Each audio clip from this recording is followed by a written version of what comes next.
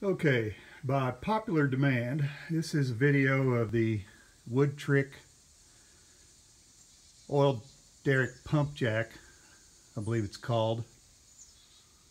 Uh, they claim 250 parts, I'd say 240 of them are moving.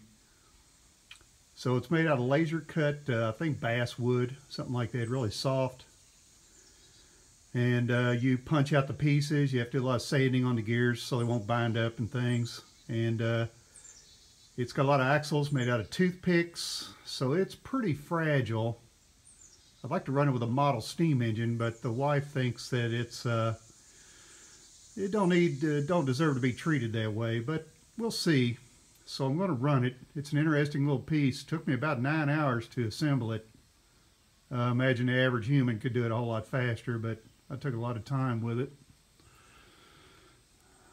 And here we go.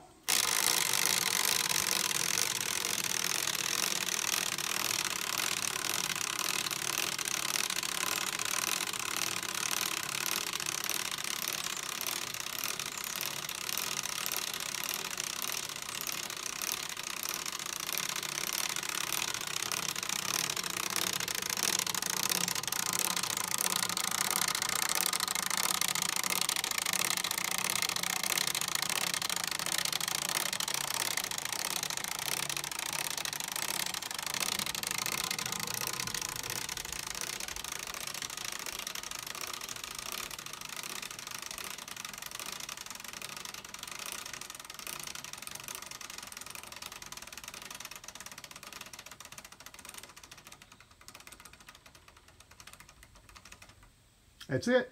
Runs like a top.